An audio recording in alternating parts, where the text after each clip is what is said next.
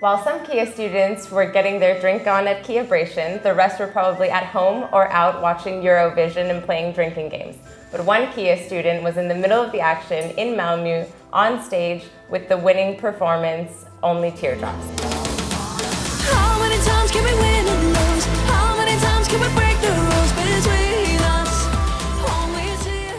He's here with us today. His name is Morten Larsen, and we're going to hear a little bit about how the whole experience was. Hello there. Hello there. So first, I have to ask, you're a student at KEA, and what are you studying?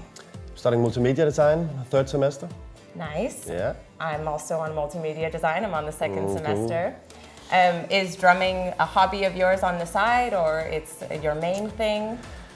Actually, it's it's more than a hobby now because in 2000 and 2010, me and my band uh, went to this Denmark's Got Talent, and uh, we won.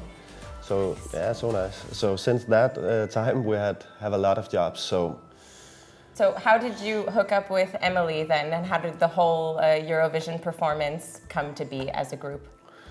Uh, in my own band, Copenhagen Drummers, we have uh, a manager and a booker, and he knows Emmelie's manager. And this song, there's a lot of drums in, in the Only Teardrops. And he thought of us and contacted our manager.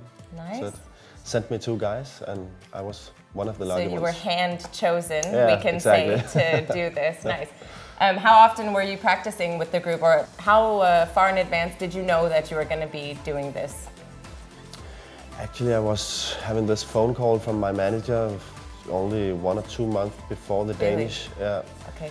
And then we met Emmelie and the whole team, the, the choir, and me and Jacob, the flute guy. We actually almost made the choreography ourselves. Really? Yeah, in our um, Okay, so you were like at home on the weekends, dancing, yeah, drumming almost, around. almost. So Awesome. we have put a lot of time in it to, to make it totally cool.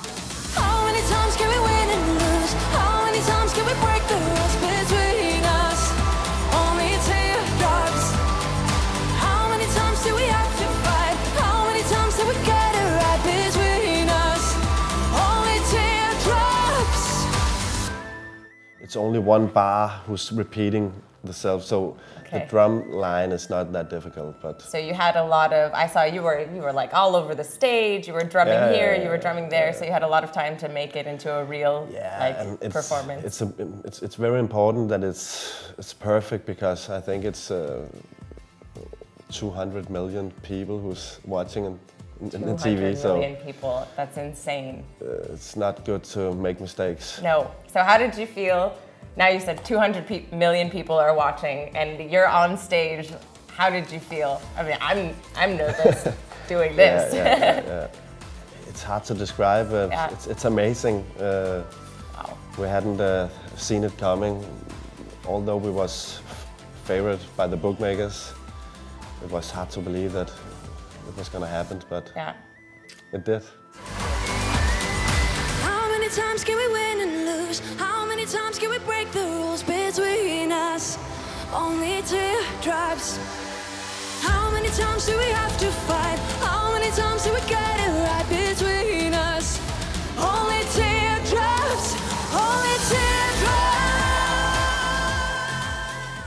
Was there any moment during the performance where you thought, "Shit, I messed up," or something something went wrong, or was it just like the energy? You just did it perfect.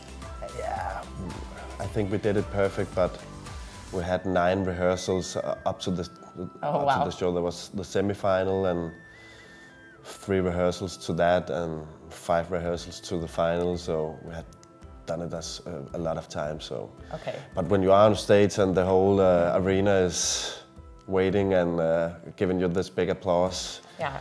you got a li- you get a little nervous. But I think it's important also to be a little Yeah. nervous. Oh, so once the song starts, then you Yeah, kind of yeah. just then you just did it. Exactly. You can't hold Yeah, back. yeah. So when you were sitting in the back and they announced that you had won, what was the atmosphere like back there? Probably like shots, uh, Yeah. what was going on? It was just happiness. We was dancing around. I think I, I saw it yesterday on TV, and it was just. Did they film it?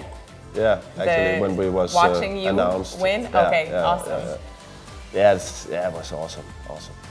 And so now that it's all over, you have a whole summer booked with shows with Emmelie.